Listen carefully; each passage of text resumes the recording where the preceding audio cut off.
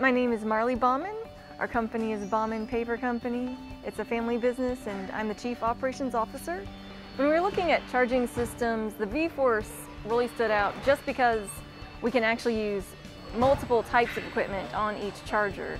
And just being able to have one unit instead of one per vehicle just really makes everything simple. Your workers don't have to focus on making sure they plug into the right one each time. There's less kind of fear involved with making sure your unit gets charged. Uh, the V-Force definitely has a shorter charging time, less trying to swap out equipment midday is very helpful. The small V-Force size is definitely a benefit since we are tight on warehouse space is a premium for sure and the, just this the box that takes up you know a quarter of the size is definitely beneficial.